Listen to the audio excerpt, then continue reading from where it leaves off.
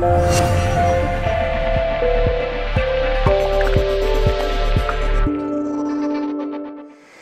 me llamo Eva Bárbara Jastrzębska y hoy eh, voy a hablar de mm, los conceptos de capacities, de eh, reactiva tus capacidades, tu don extrasensorial, ¿vale? De las cosas que nosotros tenemos realmente e intentaré poco a poco responder todas vuestras preguntas.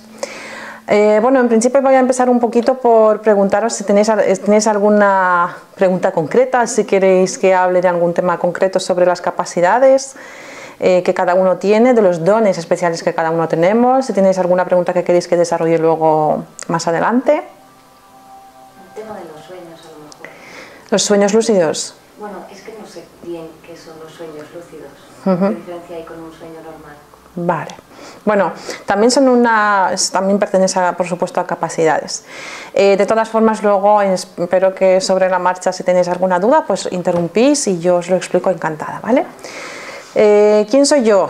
Yo me llamo Eva Bárbara, eh, soy polaca, nací en Polonia, en todavía aquella comunista, todavía tengo recuerdos comunistas.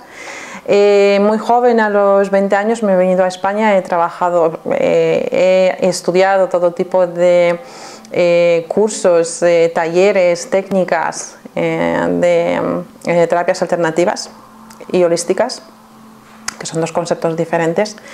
Pero yo nací con y mantuve el don de visión aural desde pequeña. Es un don como otros dones o es una capacidad realmente como otras y que mantiene todo el mundo. Todo el mundo que nace desde pequeñitos, desde bebés, cuando nacemos, mantenemos nuestras capacidades extrasensoriales eh, y... Eh, hola, buenas tardes, hola, pasar. Eh, y bueno, cuando un bebé cuando nosotros estamos, os voy a explicar un poquito, eh, nosotros cuando somos pequeñitos y, estamos dentro, estamos un feto, estamos dentro del vientre de nuestra mamá, ahí todo lo que nos rodea es muy distinto de una vez que estamos fuera, ¿verdad? Fuera del vientre de nuestra madre. El líquido acuoso calentito, los sonidos nos llegan desde muy lejos, eh, la luz eh, no es tan impactante, no es tan fuerte como lo es fuera, y un largo, etcétera, etcétera. Con lo cual nuestro cerebro Em, se adapta al medio donde está. Una vez que, o sea, eh, para adaptar al bebé al medio donde está. Una vez que nosotros nos sacan de vientre de nuestra mamá, cuando ya nacemos, nos enfrentamos a todo tipo de estímulos fuertes, tipo el sonido, tipo, eh, por ejemplo, eh, la luz, la temperatura, el tacto con la ropa, que también es bastante, bastante desagradable para un bebé recién nacido. ¿Qué es lo que hace nuestro cerebro? Nuestro cerebro, eh, para sobrevivir, tiene que reajustar todos los radios que tiene encendido. Digámoslo más o menos así.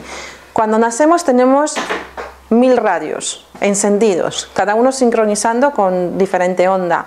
Cerebro para poder eh, sobrevivirlo se diagnostica hasta los tres años, de hecho, y entonces rebaja algunos radios que no le son necesarios. Luego lo iré explicando. Uno de esos es uno de esos motivos por cuales yo, por, y otras extrañas razones eh, oculísticas más bien, he mantenido el don de visión aural. Significa eso que vosotros también habéis nacido con don de visión aural, también habéis nacido con mm, el auditivo muy despierto, ¿no? con el olfato muy despierto. Bien, cuando soy mayor como os he dicho, con 20 años vengo a España y aquí es donde descubro un mundo que en Polonia pues no lo había tanto y me pongo a eso de las terapias alternativas, encantada de la vida, meditaciones, a todo tipo de cosas, eh, para aportar a las técnicas que yo misma desarrollé de visión aural.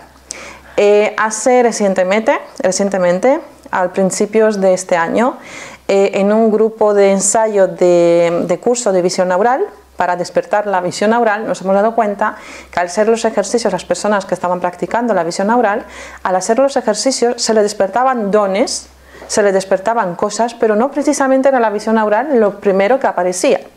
Y era súper curioso porque decíamos, ¿qué es lo que ha ocurrido en medio de que se le han activado, por ejemplo, la autoescritura, la lectura rápida, eh, se les ha aumentado la, percepción em, de em, eh, de evidencia ¿vale? y las percepciones extrasensoriales.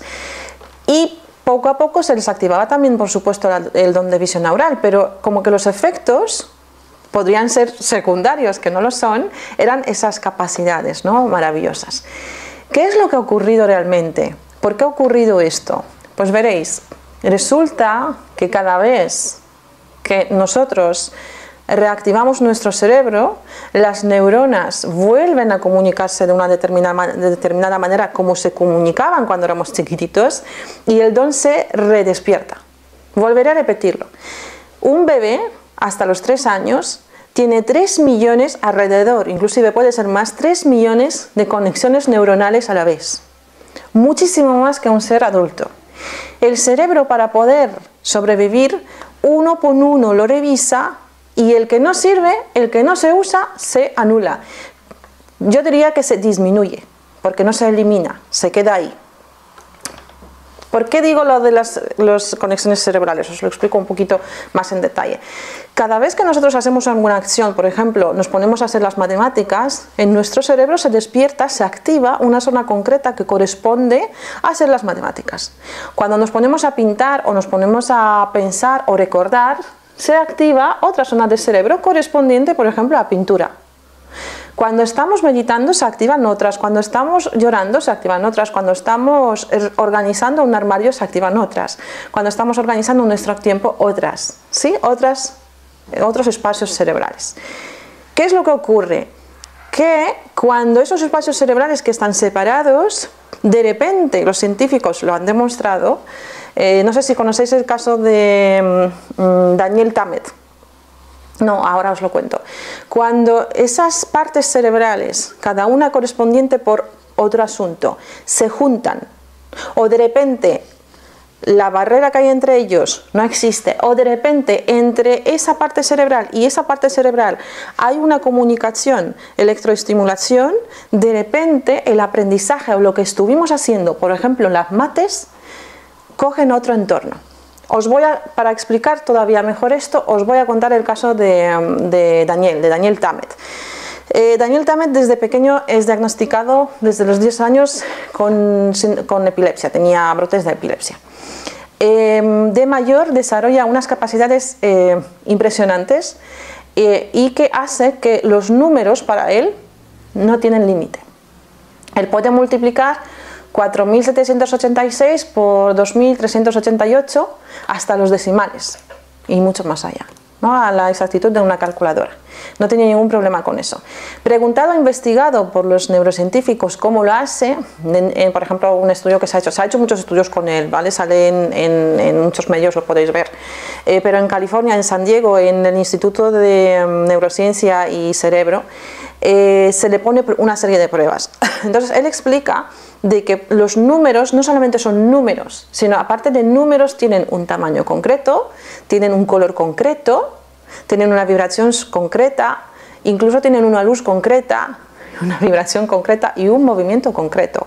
No es un simple número. Él, por ejemplo, insiste mucho que el 9 es enorme y que el 6, que él odia, es muy chiquitito, ¿no? que es súper curioso. Bien, una vez se ha demostrado de que por qué ocurre eso, precisamente porque las partes del cerebro que comunican por ejemplo, las mates con alguna otra parte cerebro suya, no tiene esa barrera y se comunican entre sí. ¿Sabéis cómo se llama ese efecto? Seguro que lo habéis oído, se llama sinestesia. ¿Lo habéis oído? Bueno, pues es uno de los efectos de nuestro cerebro. Es curioso que personas como, como, él hay muchísimas, hay muchísimos niños, hay muchísimos adultos que en base a, parece ser, algún golpe, alguna enfermedad o alguna cosa que les suceda, desarrollan esas capacidades de repente. Otro, por ejemplo, podría ser el Kim eh, Peek. Con él se ha hecho Dustin Hoffman, ha hecho una película que es Me Diamond, eh, donde él hace de, de Kim. Kim tiene una capacidad, es una biblioteca andante. Sabe decir cualquier hora, cualquier día, qué día fue, cuándo nació quién, dónde y su mujer y qué cargo tenía, todo. Es como una biblioteca que anda, con patas. El caso es que como él hay muchos más, ¿no?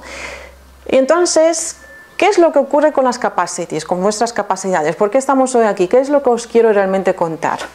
Es que no hace falta que os deis un golpe en la cabeza para desarrollar esas capacidades. No hace falta tener un traumatismo craneal o un traumatismo cerebral para ello. No hace falta vivir una enfermedad o algún tipo de choque. Se puede poco a poco redespertar esas partes ocultas en nuestro cerebro desde pequeñitos. porque nuestro cerebro que ha hecho cuando era pequeño ha reajustado porque era algo que no usaba. Hay un dato importante eh, que, que, yo a mí me encanta contarlo. ¿Con qué se queda nuestro cerebro? ¿De qué depende que nuestro, con qué capacidades se queda nuestro cerebro de pequeños? ¿no? ¿Y por qué? Bueno, pues tal como he dicho, si se usa, se queda. Si no se usa, no se queda. Pero quedaros con, con, las dos facetas más importantes del cerebro. El cerebro aprende, retiene y se queda con todo que es que le hace sobrevivir o que es divertido. Si no le hace sobrevivir o no es divertido, no lo retiene.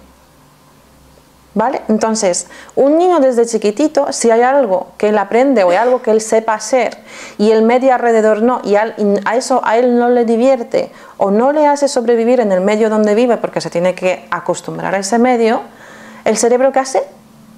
Lo, lo elimina. O, bueno, no, la palabra no exacta no me gusta, la elimina, porque realmente eliminar es como borrar todo, no para siempre, jamás. Simplemente rebaja, es como una radio que le baja el volumen, entonces se queda ahí como guardadito. ¿Qué es lo que ocurre si yo os llevo ahora mismo, si apago las luces y os llevo ahora mismo conmigo a un viejo psiquiátrico estadounidense abandonado desde hace más de 80 años, donde se ha, hecho auténticas locuras, en medio de la nada, en medio de bosques de la nada, quitamos todos los coches, todos los teléfonos, quitamos hasta las cámaras, quitamos todo y nos quedamos ahí a dormir por la noche?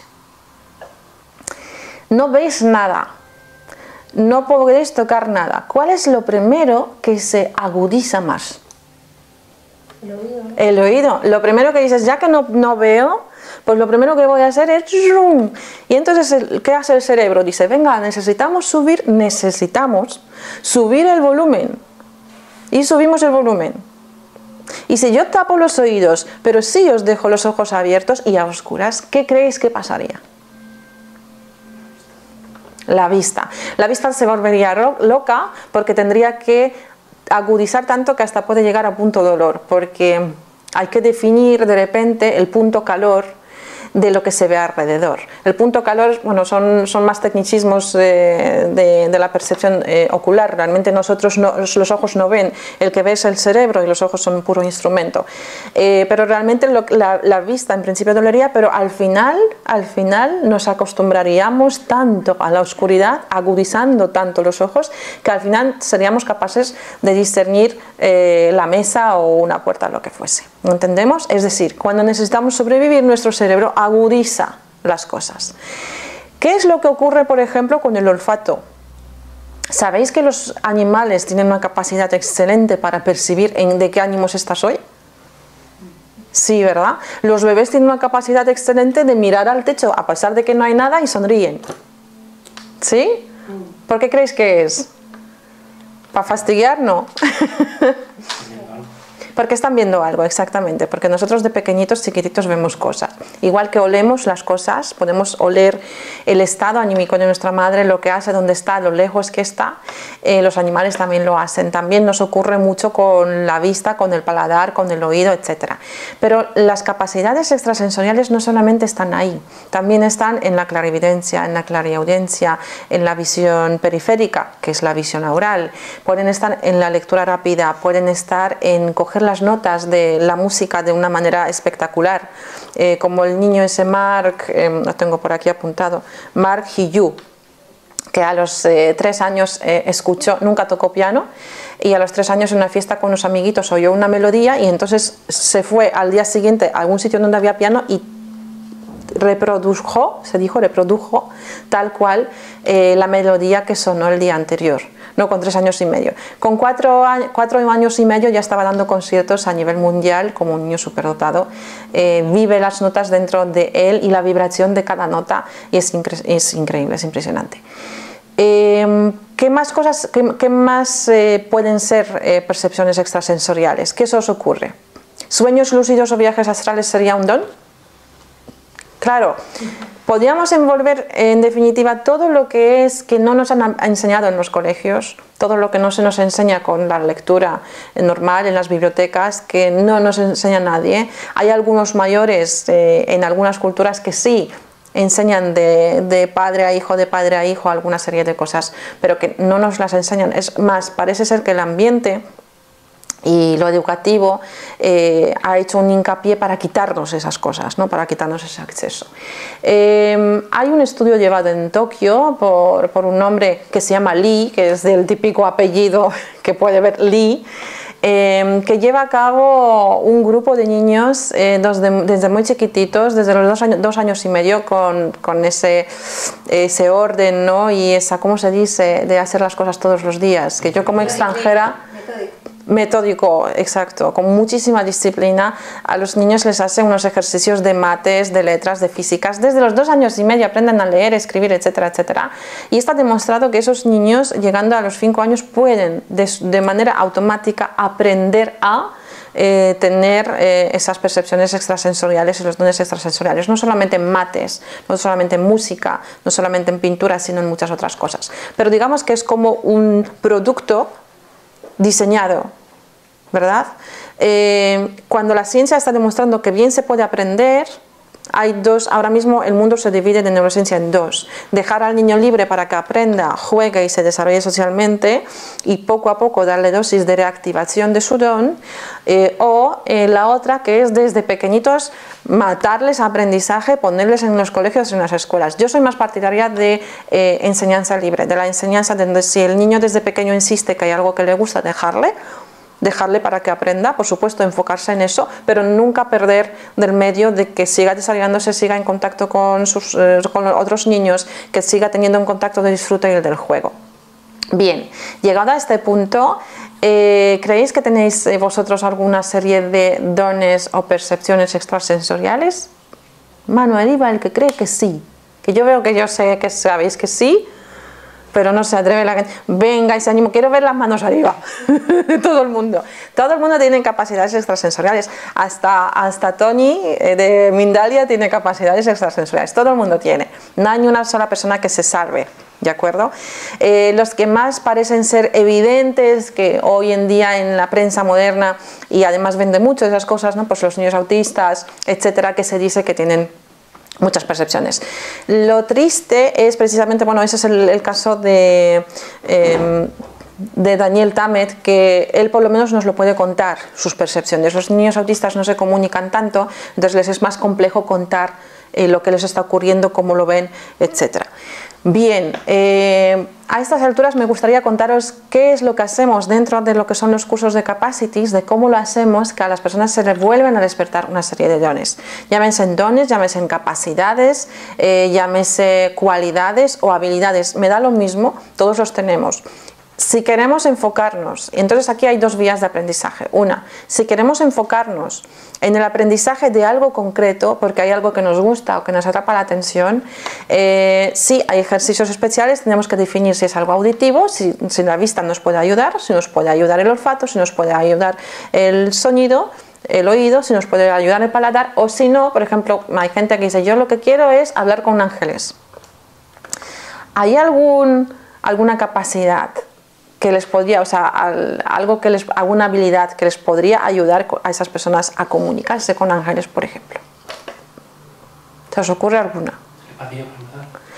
Telepatía, pero no es, claro, la telepatía es como un conjunto también de la gran fe. Las personas que no tengan fe o creencia de, porque luego existe otro asunto, que nosotros dentro del cerebro nos ponemos un bloqueo y según las circunstancias educativas donde nos hemos educado, el cómo nos han educado, en qué sociedad, en qué colegio, con qué creencias, eh, mm, por ejemplo, religiosas, eh, y qué sociedad desde pequeños nos, rodeaba o qué familia nos rodeaba, nosotros nos ponemos un bloqueo. Ese bloqueo para nosotros es necesario. ¿Qué es un bloqueo? No? Es algo necesario para nosotros para mantenernos en la sociedad. El bloqueo es, eso no existe, eso no es posible, los ángeles no existen, los genios no existen, el aura no existe. Yo me paso el día eh, riéndome cuando veo, por ejemplo, eh, sin decir, eh, no voy a nombrar el nombre porque me parecería feo, eh, pero hay incluso gente que afirma que se puede hacer fotografía de aura, cuando hoy en día no existe acceso nuestro comercial ni un solo aparato que haga una fotografía de tu aura. Existe un, existe un aparato ruso de mis excompañeros comunistas, ¿no? de aquel bloque comunista, que lo ha investigado bastante eh, de Kogotkov y Killian que sí hace una fotografía de lo que es el campo electromagnético. Pero tanto el tuyo como de este bolígrafo, como de un reloj, como de cualquier cosa. ¿Sí? Pero eh, decir que eso es un, ahora es como hacer una radiografía de un hígado y decir, este es tu cuerpo maravilloso humano. Entonces es como, bueno, nos quedamos un poquito ahí medias. Bienvenido sea el desarrollo humano ahora mismo que la gente quiere saber esas cosas y por lo menos se interesa por las pizcas esas pequeñitas de, de información. Bien, entonces, ¿qué cosas podríamos hacer nosotros para ir reactivando esas partes del cerebro. Por supuesto, los bloqueos eh, personales, psicológicos de nuestras creencias es un gran aliado, sería un gran enemigo, perdón, en vez de aliado. ¿no? Habría que quitar eh, esos bloqueos. ¿no? El pensamiento de eso no existe, eso no es posible, o yo no puedo, o yo no me lo merezco, o yo no valgo para esto. Hay gente que quiere, no sé, tener una lectura rápida o tener una autoescritura o tener eh, viajes astrales. Si yo tengo miedo a la oscuridad, es, va a ser difícil que haga viajes astrales. Y si yo tengo las creencias de que existen energías malignas y energías buenas, Em, también eh, puede ocurrir de que yo tema mucho a la hora de salir del cuerpo, mi cuerpo energético a la hora de salir se encuentre con energías malignas. ¿Entendemos esto? Es como nuestro propio bloqueo. Yo siempre aconsejo, siempre para todo ese tipo de cosas, ponernos en manos de un profesional.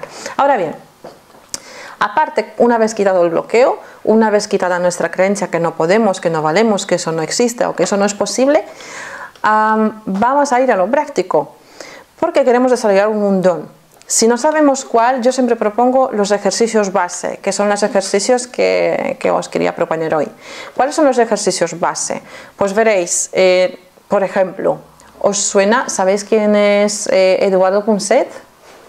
Sí, reconocido psicólogo, muy bien.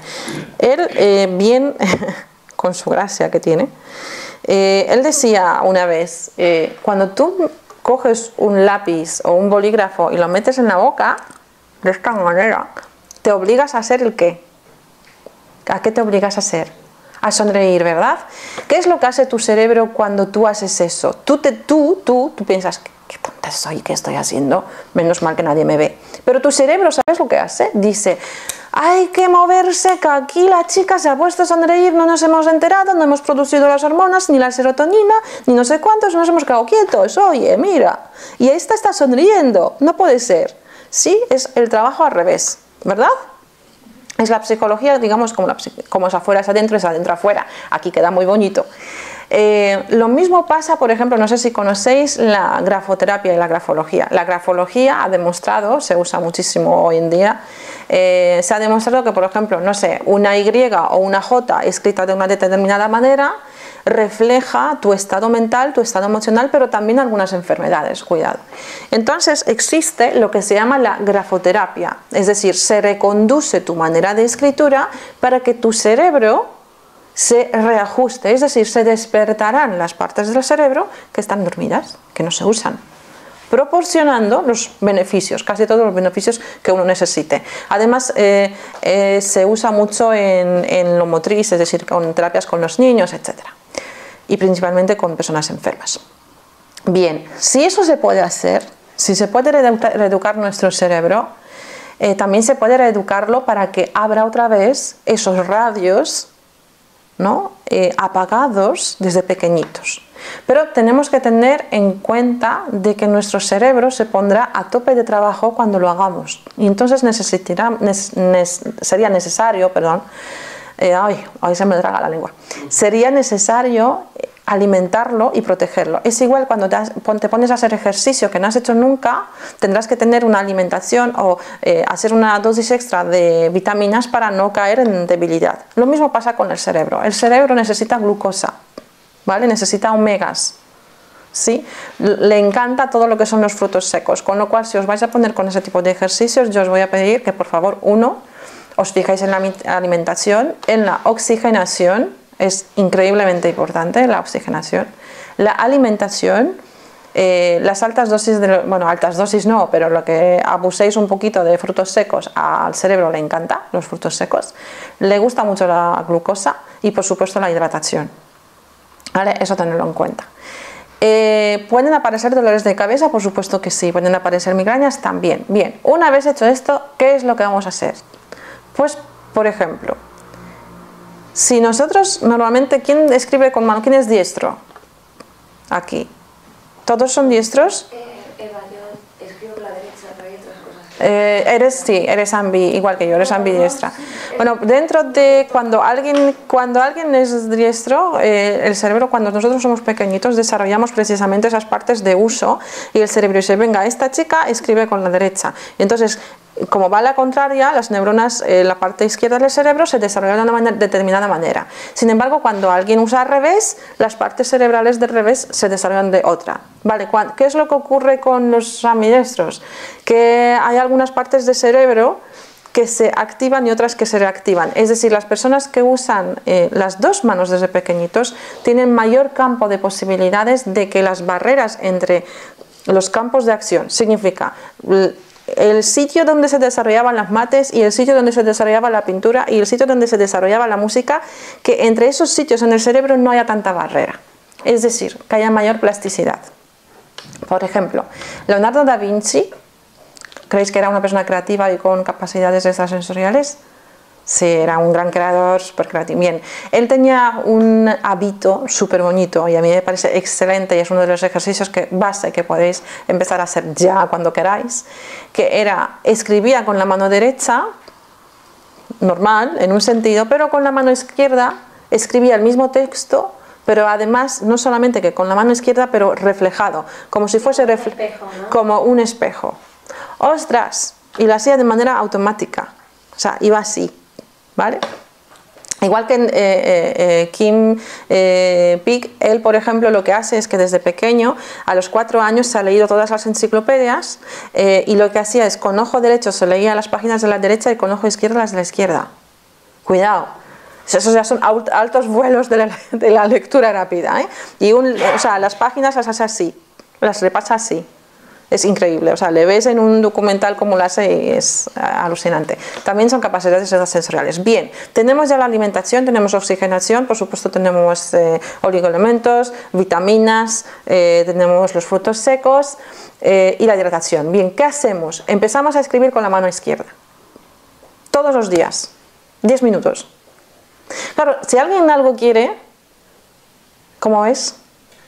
Algo le cuesta. Si yo llevo, voy a poner una media que tenemos todos 30 años. Entonces, si yo llevo 30 años con las radios apagadas, ¿sí? No me va a costar 30 años volver a encenderlas, pero a un tiempo sí me lo tengo que, tomar. Si yo llevo, por ejemplo, un sobrepeso de 30 kilos, ¿sí? No voy a hacerlo en dos días. Si yo llevo 30 años sin conducir un coche, o, o 20, para volver a conducirlo tendré que po- poner un tiempo, ¿no? Lo mismo pasa con la bici, dicen que una vez que montas en bici ya no se te olvida. Ostras, pero cuando te sientas los primeros momentitos, tela. ¿Sabes, por cierto, lo que pasa cuando te montas en una bici y se te da el volante al revés? ¿Creéis que seríais capaces de conducirlo? Normalmente la gente dice, bueno, esto será, mm, bueno, no será tan difícil. En vez de girar a la derecha, giraré a la izquierda, en vez de la izquierda a la derecha. Hay un vídeo especial que muestra que la gente no es capaz de aguantar ni siquiera tres segundos en la bici, que es el volante al revés. Porque tu cerebro ya guardó que es conducir con el volante de esta manera. Y cuando te lo dan al revés, mm, no aguantas. ¿Sí? Bien, lo mismo nos pasa a nosotros con aprendizaje. Tenemos que poner un tiempo para ello. Bien, podemos escribir con la izquierda. De hecho, a partir de este momento, intentar hacer todas las cosas con la izquierda. Cuando tengáis un ratito en casa, en trabajo, lo que podéis hacer, yo lo que he hecho a los chicos es vendarles la mano derecha, de tal manera que tienen como un guante de boxeo que no pueden coger nada, y el resto de las cosas que lo tengan que hacer todo con la mano izquierda. Hasta ir al baño ¿No? Dicen, y ahora me- eh, quítame Eva, por favor, quítame esto, que me quiero ir al baño. "Mm, tendrás que ir con la mano izquierda. Ay, no me digas, no puedo, que no llego. Sí, sí, sí, llegas. Claro, el esfuerzo que tienes que reaprender, reajustar es increíble.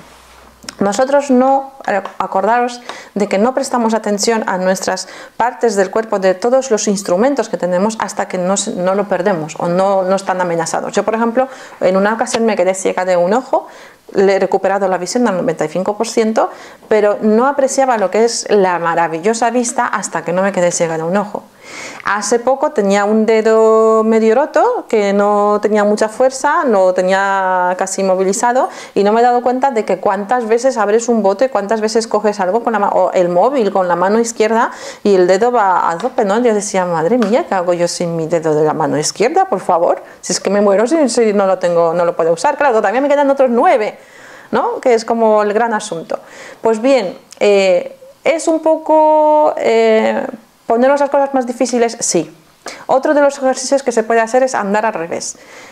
Sí, andar al revés. Si yo quiero llegar de punto A a punto B a porque suena el teléfono, en vez de ir de lo que yo haría normalmente, es ir recto, ¿no? porque eso es muy fácil, me voy a poner al revés y voy a ir marcha atrás hacia el teléfono, pero no lo voy a coger con mano derecha, lo voy a coger con la mano izquierda. No voy a teclear las cosas con la mano derecha, voy a teclear con la izquierda, a ver qué pasa, a ver cuánto tardo. Pues bien, esos ejercicios en principio son muy plastas, muy pesados. Hasta pueden ser, bueno, para algunos divertidos. Pero pasados una semana o dos, el cuerpo y el cerebro empiezan a acostumbrarse. Y cuando eso ocurre, es cuando se abren potenciales, importantes potenciales cerebrales. ¿Sí? ¿Qué más podemos hacer? Pues, por ejemplo, dibujar. ¿Hace cuánto que no cogéis unos lápices de colores y no dibujáis? O, veo que hace, mucho tiempo. Fijaros qué cosa más tonta que es coger, leer un cuento. Dentro de las prácticas nosotros tenemos una cosa que es, es leer un cuento. No tiene nada que ver mm, con la técnica de activación eh, de la glándula pineal, ¿vale? Pero se parece a lo que es un profundo estudio psicológico de trabajo con los niños a través de los dibujos. Entonces, eh, lo que hacemos es, a través del cuento, luego todos los que están en curso dibujan. ¿Vale? Y ese dibujo, el hecho por la mañana y hecho por la tarde, cuando si veis, no os he traído ninguno, pero si veis los dos, la diferencia entre uno y otro es abismal, porque se han activado unas partes del cerebro que no nos acordábamos que estaban ahí y que ahora sí que menos usas algún campo de tu cerebro, menos maestría tienes en él. Tiene lógica que más lo uses más. ¿Qué tiene que ver el dibujo? El dibujo, nosotros las líneas rectas, el contar de que esto, es cuadrado, es un hemisferio del cerebro. Sin embargo, el otro hemisferio del, del cerebro es el que se ocupa de inventarse cosas. Si yo te digo que aquí hay elefantes rosas, tú solamente para imaginarte en un elefante rosa necesitarás un hemisferio, el intuitivo, el creativo. Sin embargo, si yo te digo, además el elefante mide 22 centímetros y pesa 42 kilos, se activará el otro hemisferio que tendrá que comparar qué son 22 centímetros y qué son 42 kilos. Se activarán los dos. ¿Entendemos esto? Por eso, para ganar la plasticidad dentro de nuestro cerebro necesitamos todo tipo de juegos. Si Sí, es verdad. Si me lo preguntáis, oye, entonces en los cursos se podría decir que hacemos? Pues realmente estamos jugando. Lo que pasa es que mientras tú lo estás jugando, los demás profesionales te estamos observando y registrando cuáles son tus dificultades a la hora de ese supuesto juego o a la hora de este supuesto mm, desarrollo que vas a tener dentro. Bien, eso es lo que son los, lo que llamamos el campo base. Lo que son los ejercicios básicos es eh, toda la, eh, neuroplasticidad, hacer las cosas con la mano izquierda, jugar. Eh, también hay que hacer cálculos para no, no, perder, porque lo que queremos es no desarrollar solamente una parte del cerebro o solamente desarrollar otra. Aquí se trata de juntar las dos y que estas dos se comuniquen y en ganar en la comunicación entre unas neuronas y otras para que estas cuando se comuniquen despierten esas capacidades que tenéis de pequeños. Yo no sé si hasta este punto ha quedado algo, mm, alguna duda o algo que quisieseis saber más. Me explico estupendamente. ¿Hay alguna preguntita que tenéis? No, ninguna. Bien. Eh, lo que me preguntan mucho, eh, quizás os sirva, es qué capacidades se pueden eh, desarrollar. Se pueden desarrollar muchísimas. De hecho, no me quiero encerrar en extrasensoriales, que también, por supuesto, como pueden ser los dones, por ejemplo, la clarividencia, la clariaudiencia, puede ser también el extrasensorial, los viajes astrales, que no es lo mismo que sueños lúcidos, es muy diferente. No es lo mismo tampoco viajes astrales que viajes mentales. Una cosa es un viaje mental, donde tú con los ojos cerrados en una cómoda posición de repente te proyectas eh, además de manera muy definida, por ejemplo, yo lo que hago eh, cuando hago los grupos de viajes astrales y mentales, lo que hago es que les ubico en un punto muy concreto geográfico donde lo, lo que te rodea es muy descarado. Es decir, si no has estado nunca ahí, no te lo puedes, no te lo puedes inventar. Si, si tú dices, he visto un caballo significa que no has llegado realmente ahí mentalmente, ¿no? que es la mejor prueba de ello. Por supuesto es un sitio polaco, que raro sería que alguien estuviese ahí, hay un símbolo concreto. Entonces cuando alguien me dice, he visto este y este símbolo y esto y esto y esto, digo, vale, esa persona ha llegado ¿no? a, ahí, pero no ha atravesado su cuerpo, no ha salido lo que es el plasma energético astral, no ha salido de su cuerpo y no ha hecho ese viaje. ¿Sí? Porque el viaje astral significa yo me desprendo no me muero, por supuesto, sigo respirando, sigo bien, pero yo me desprendo, salgo y tengo todo tipo de sensaciones y viajo hasta el punto donde yo quiero ir. Sin embargo, un viaje mental es yo me siento, cierro los ojos, medito, bajo la frecuencia cerebral, por supuesto, porque también tenemos que jugar con frecuencias cerebrales y directamente me planto en el sitio donde hemos quedado. No sé si entendemos la diferencia mental y, viaje astral, que es energético para todo ese tipo de cosas eh, es bueno, por ejemplo, también desarrollar las capacidades de el estado eh, alterado de conciencia. ¿Qué es estado alterado de conciencia? ha demostrado que las personas que lo usan a menudo tienen más capacidades todavía. Ahora, estoy segura, ¿hay algún pintor en la sala? Un músico. Un, un tú también, ¿no? Un matemático informático, poeta, mm, mm, mm, alguien que haga ganchillo, que pinte mandalas. Bueno, eh, no sé si, si sabéis encontrar la similitud entre eso. Los estados altos de conciencia ocurren cuando tú te entretienes en alguna labor, tu cerebro se entretiene en alguna labor, te lo has pasado tan bien y te ha sido tan, aunque bueno, no tienes que pasárselo súper divertido, pero que por lo menos te ha entretenido lo suficiente que se te ha pasado la conciencia del tiempo. Y cuando de repente te das cuenta, ah, que ya son las seis. ¿En serio? Y estabas muy concentrado. Esos altos eh, estados de conciencia suelen ocurrir, por ejemplo, con los pintores. También suelen ser relacionados con la frecuencia cerebral, que es la frecuencia alfa. Nuestro cerebro, al igual que nuestro corazón, eh, tiene una frecuencia, nuestro cerebro tiene beta, que es cuando estamos más despiertos, más concentrados para el aprendizaje, alfa, que es el relajado, donde nos comunicamos con, con los seres, eh, eh, pueden ser, o sea, donde se abren nuestras capacidades extrasensoriales, y luego delta y delta, que esos son ya en hipnosis o dormidos en quirófanos y ya luego hasta la muerte. Pero el caso es que los alfa son los más recomendados para eso. Se considera que las personas entran en alfa cuando están en altos, altos estados de conciencia. Por ejemplo, las personas que pintan y se entretienen pintando un cuadro al detalle, no solamente que se tienen que fijar y tienen que crear, y están despiertos porque no están dormidos, tumbados. ¿no? Entonces, todos sus activadores cerebrales están en funcionamiento porque esa persona se mueve, anda, va por un vaso de agua o va al baño, ¿no? Es decir, estamos despiertos, pero a la vez estamos súper creativos.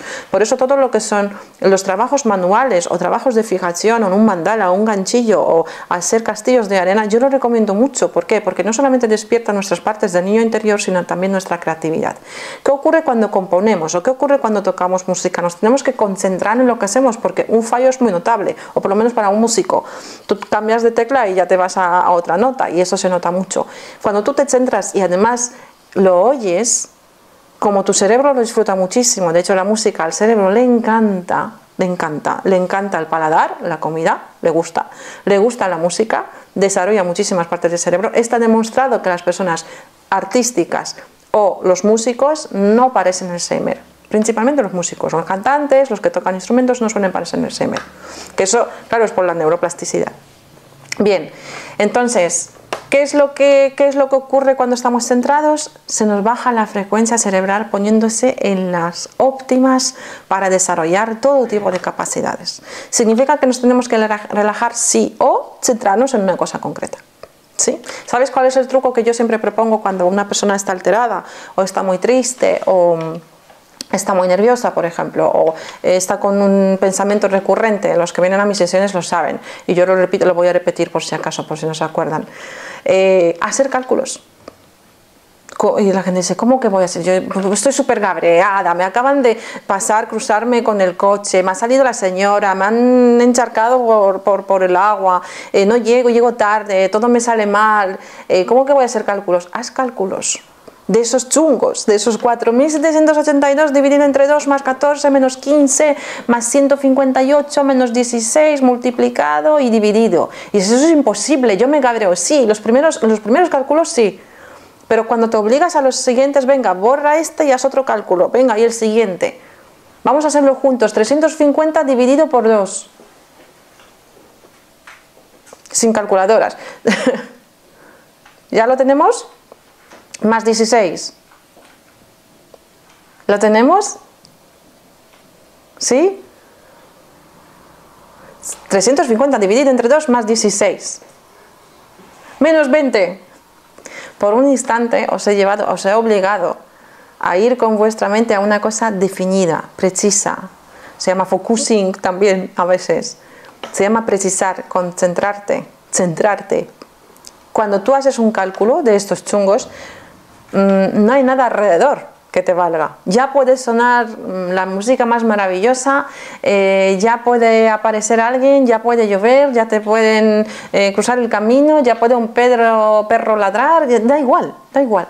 Tú te tienes que centrar para hacer el cálculo. Si fuese una cosa necesaria para tu cerebro para sobrevivir, si alguien te pone una pistola en el pecho y te dice 350 dividido entre dos, a que sí que te lo sabes. Bueno, los nervios te pueden a veces, ¿no? Pero normalmente lo suyo sería que, sabrías hacerlo para sobrevivir, que lo pudieses hacer.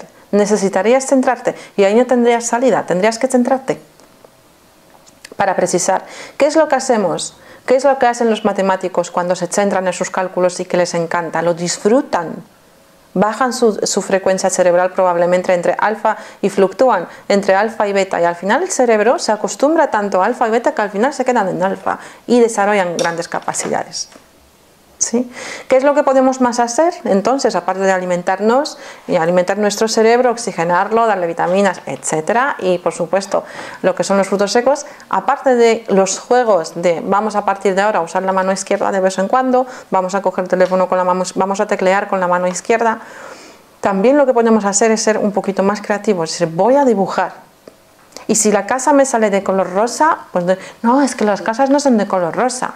Bueno, en tu cuento sí, en el cuento que tú te inventes, sí, entonces lo dibujas y cada día te va a salir un dibujo mejor. Y lo suyo es dejarse llevar. Otra cosa que también podéis hacer es ver imágenes en internet. sí, en, en, internet. Imágenes 3D. ¿Sabéis lo que son las imágenes esas focales? Que lo que hacen es que te obligan a desenfocar para ver una imagen impuesta encima de otra imagen, las imágenes 3D. Esas imágenes yo las uso para enseñar a juegos de visión, para desarrollar la visión neural, pero lo que hacen mucho esas imágenes también es que tu cerebro vuelva a empezar, vuelva a reajustarse cuando era pequeño, vuelva con las cosas que las hacía cuando era pequeño. ¿Sí? que vuelva a ajustar esas rayos que ha apagado, por ejemplo. Y luego la punta final. Eh, yo lo que hago normalmente en sesiones individuales de Capacities, lo que hago es que pongo a la persona eh, para comprobar un poco de qué es lo que ocurre auricamente, porque lo puedo ver, pero vosotros en vuestra casa también lo podéis hacer, es poner una pantalla con, por ejemplo, 150 imágenes, eh, recomiendo de gran resolución, de todo tipo de religiones, de todo tipo de simbologías, de todo tipo de ambientes, de todo tipo de mm, planeta, tierra, agua, mar, aire, Em, un Buda, un Jesucristo, su cruz, lo que, lo, que, lo que se os ocurra, o hacer un popurrí y reproducirlo en la pantalla de manera continua uno tras otro, uno tras otro y vosotros simplemente mirarlo.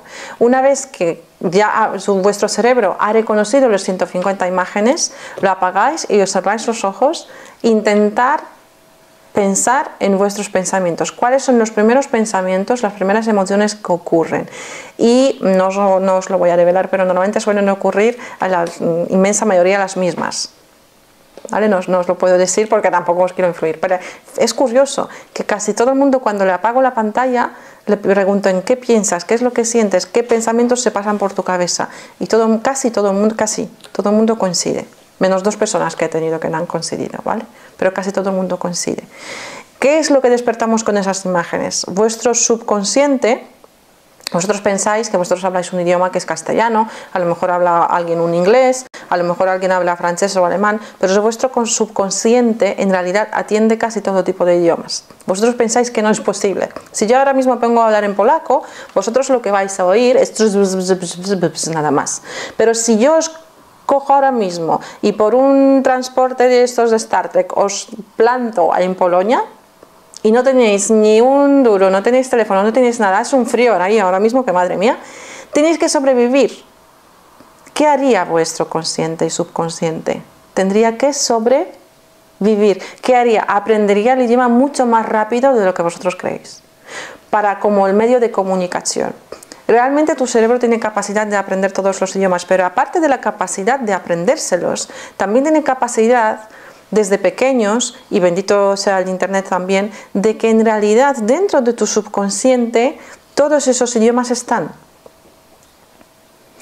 Aquí hay varias teorías, que tu alma, que tu, que tu eh, bueno, que la reencarnación, etc. En realidad es simplemente la sintonía, que más películas, que más vídeos, que más idiomas habéis oído en vuestra vida, a alguien decir en el metro o por algún viaje que habéis hecho, lo que fuese, ¿sí? o algún amigo que le habéis oído hablar, vuestro cerebro lo registra. Es más, vuestro cerebro cuando anda por la calle y hubo un accidente aquí, si os hipnotizamos, probablemente podrá traer hasta la matrícula, del coche accidentado, a pesar de que solamente ha girado la cabeza a la izquierda, nada más. O sea que si lo registra, lo que pasa es que nosotros lo desechamos de nuestra mente porque creemos que no está ahí. ¿Sí? ¿Entendemos esto? Bien. Así que, ¿qué cosas, ¿qué cosas vais a hacer a partir de mañana en casa? Blog de notas y, a dibujar de colorines. Yo lo que más recomiendo es eh, eso, dibujar de colores. Pero eh, hacer mates, dibujar de colores, eh, jugar, dibujar, por ejemplo, las, alguna serie de símbolos. La simbología es súper importante. La simbología despierta vuestro, vuestra parte esa cerebral antigua, ¿vale? De la biológica de vuestros ancestros. Todo el mundo reconoce, por ejemplo, para daros un ejemplo, eh,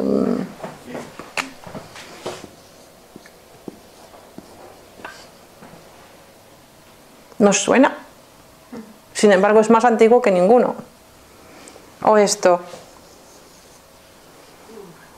¿Nos suena? ¿Qué es? Una espiral. ¿También podría ser un animal? ¿O la naturaleza? Si alguien tiene un helecho en casa, sabe que los helechitos, cuando nacen, o sea, cuando salen los helechos nuevos, salen en, la forma de geometría, se llama geometría sagrada. ¿no? O por ejemplo, esta imagen, es así, ¿no? Suena más, ¿verdad? ¿O no? ¿Y esa imagen? ¿Y qué tal está? Ay, perdón. Si me he hecho muchos cursos, pero el de dibujo es el que más me falla. Podría seguir. Estas imágenes también nos suenan. Hay muchísimos más.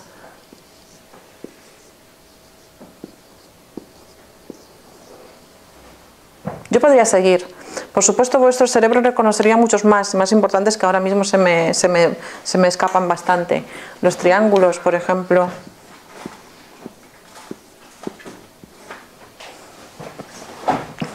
¿Vale?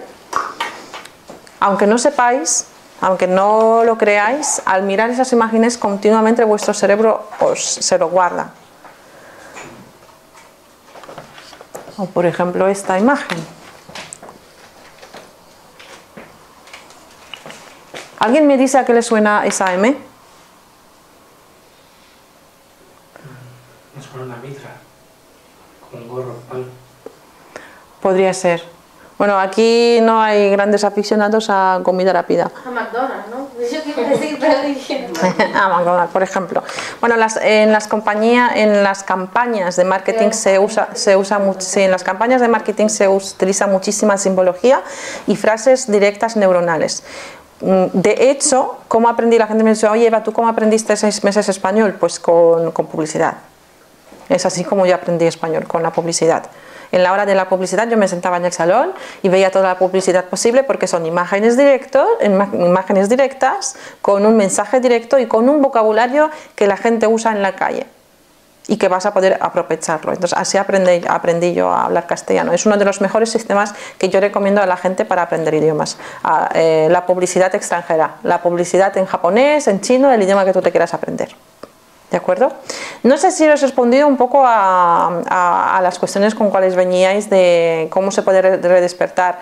Para deciros un poquito más de trucos, simplemente se trata de jugar con vuestro cerebro, jugar con vuestras, con vuestras capacidades normales del día a día para poder luego hacer más plasticidad, cerebral. Por supuesto, de ahí luego dentro de lo que nosotros hacemos un curso, dentro de, después de, de esas bases ¿vale? de aprendizaje y de juegos, empieza lo que es el trabajo de capacidades extrasensoriales mucho más en serio, ¿no? de práctica de tú a tú, de telepatía, se pone a gente en grupos, tienen que trabajar, tienen que enviarse mensajes, etcétera, etcétera. Y es mucho más satisfactorio cuando tú ves que el compañero lo ha percibido cuando tú estás solo pensando de una determinada manera y que el mensaje no llega. ¿Alguna pregunta hasta aquí? Yo quería saber qué es la clariaudiencia que has dicho antes. Una cosa es clarividencia y una cosa es clariaudiencia. La clariaudiencia es eh, la percepción auditiva de oír, por ejemplo, voces, de oír eh, mensajes o seres de más allá. Eh, aquí jugamos con, con muchos conceptos. Por ejemplo, las personas que tienen esquizofrenia, eh, precisamente desarrollan ese tipo de cosas dentro de sus brotes, ¿no? Porque, las neuronas se cruzan entre sí, desarrollan una parte, hay un cierto eh, comunicación neuronal dentro y luego ya no se vuelve. Así es como ocurre dentro, es un, vamos, eh, explicado a lo bestia y a lo pronto, cómo ocurre una esquizofrenia que tiene muchas más cosas, ¿vale? Sin embargo, no significa que las personas, yo conozco muchísimas personas dentro de lo paranormal, dentro del mundo parapsicológico, que sí que oyen voces, que sí que oyen mensajes, que sí que oyen pues, cosas eh, y que no significa que tienen ningún tipo de esquizofrenia, al contrario. De hecho, el clariaudencia no solamente tiene que ser clari de que lo oigo, significa oigo claro ¿sí? Puedo oír hasta inclusive que se activa la televisión en casa del vecino. Con las eh, televisiones antiguas, de esas que tenían un tubo detrás, era como mucho más fácil que cada vez que el vecino activaba la, la tele hacía como un zumbido, un ¿vale? Y era como mucho más descarado. Ahora las televisiones de ahora no tienen ese emprendimiento detrás del motor con lo cual no se oye tanto. Con lo cual dentro de Clari Audiencia no solamente está la percepción de los mensajes, de los sonidos, del más allá, que la gente directamente se piensa el más allá. No, es que como el nombre implica es, sí, puedes oír mensajes de más allá, pero también puede ser de que estés oyendo cosas en, en, de manera bastante aumentada. Lo mismo que la clarividencia. La clarividencia es lo veo claro, Sí, pero puede ser que ves claro un futuro, ¿vale? Que eso es una evidencia pura de un futuro, pero una buena vidente ve tanto el pasado, el presente y el futuro, y de ahí saca una conclusión. ¿De acuerdo? Que no tiene que ser eh, completamente solamente de, futuro. Las personas que tienen, son mediums, que son de verdad mediums, un trabajo de una medium de verdad, de una hora o dos horas, la deja una semana bastante cansada porque ese medium cansa muchísimo. Es un, es el, yo creo que es el trabajo que más cansa, bueno, mm, seguro que no, pero que hay otros, ¿no? Pero es un trabajo bastante desagradable que cansa y te deja sin energías. ¿Alguna percepción extrasensorial que creéis que tenéis? Tenéis, tenéis. Eh cada persona tiene una facilidad más hacia, hacia unas. Hacia otras. Mira, eh, cuando se desarrollan las eh, capacidades, cuando nos ponemos con los juegos básicos, que estos son obligatorios en todo el mundo, que tiene que hacerlos luego en su casa todos los días y luego seguimos con el segundo proceso de lo que es, es el curso de Capacities. Eh, hemos visto de que alguien, por ejemplo, no quería eh, la clariaudiencia eh, porque no era algo que le atraía, sin embargo lo desarrolló más nos hemos dado cuenta que tu cerebro por alguna razón está más predispuesto a aumentar las radios, esas que hemos dicho en principio, ¿no? de que las va apagando o reajustando, está más predispuesto a activar unas que otras. ¿Significa que están más activadas unas que otras? No, lo que significa es que de pequeños hemos utilizado más, vamos a quedarnos con casos de audiencia. de pequeños, cuando éramos chiquititos hasta los tres años, cuando el cerebro se pone a revisar una conexión por una de las 3 millones para eliminarlas, apagarlas, eh, la tenías bastante usada. Es decir, que la usabas bastante y el cerebro se lo pensó, ¿qué hago? ¿Desconecto este, este sistema neuronal que aquí de las neuronas que se comunican o de la clariaudiencia? No lo desconecto. Jo, es que el nene la usa, a lo mejor se la dejo. No, venga, al final no, no, no, le sacamos mucho uso. Aquí hay que hacer limpieza y hay que dejar una serie de eh, conexiones neuronales, lo quitamos probablemente se haya mantenido más en tu infancia eso, por eso luego de mayor, cuando te pones a practicar lo que son las, las técnicas de eh, la actividad eh, neuronal y de las capacities, el cerebro dice, ah, cuando éramos chiquititos se nos daba bien más esto y usábamos más esas capacidades, las volvemos a, activar más. ¿Te he respondido con la Sí. sí. ¿Alguna otra pregunta? Yo tengo una pregunta. Cuando se consume eh, droga, pero en un ambiente en plan ¿no? Como de rito, ¿no? O sea, los indígenas, o me, ¿no? Sí. Que dice que se supone que, no sé, como que esas conexiones neuronales, como hablas tanto de conexiones neuronales, ¿le suceden o no? Sí. Claro, sí, ¿no? O sea, eso... Sí, de hecho, pero es bastante peligroso porque justamente se... o ese tipo de drogas que son como más ceremoniales. Lo primero, mm, quiero decirlo, dado que se va a quedar eh, grabado y va a, estar, va a salir en, en, en vídeos en, en YouTube, eh, yo la petición es que eh, uno en España creo que sigue prohibida. Eh, pero hay ceremonias que se hacen, sí, no significa que sean legales. y dos, yo lo recomiendo solamente con personas altamente expertas. No significa que he hecho cursitos de estos, no, no, que esas personas realmente lleven años trabajando con esto, incluso naturópatas, incluso de todo tipo. O sea, yo no me pondría en manos de cualquiera. ¿Por qué? Porque ese tipo de sustancias lo que hacen es que precisamente las neuronas que se van a comunicar una entre sí, eh, mm, la, pantalla, la pared que hay entre neurona y neurona que existe para proteger tu cerebro, se borrará y entonces una vez que se haga ese enganche neuronal se puede no volver atrás y se quedará. ¿Qué, va a ser, ¿Qué va a pasar en futuro? En futuro, a la hora de meditación, a la hora de una percepción, como ya se han quedado ahí, va a ser mucho más fácil ver, percibir y sentir cosas. Sí, pero ¿son reales? Claro. A mí me pasa eso. No sé si quiero que dejar esto claro, no, sé si ha quedado claro. Como usamos muchas como hay en uso muchas sustancias, cada sustancia trae su cosa. Volveré a repetirlo para que se quede claro lo que, pues, si me permites, por favor, en lo que es el vídeo. ¿Serán realmente a, través de uso, sí, ganando, ganamos en neuroplasticidad? Sí, pero luego esas experiencias a cara de futuro, ¿serán reales o será un invento del cerebro precisamente por el abuso de ese tipo de cosas? ¿Vale? No, no, eso sí. Pero la misma cuestión te puede surgir si, si meditas, entonces.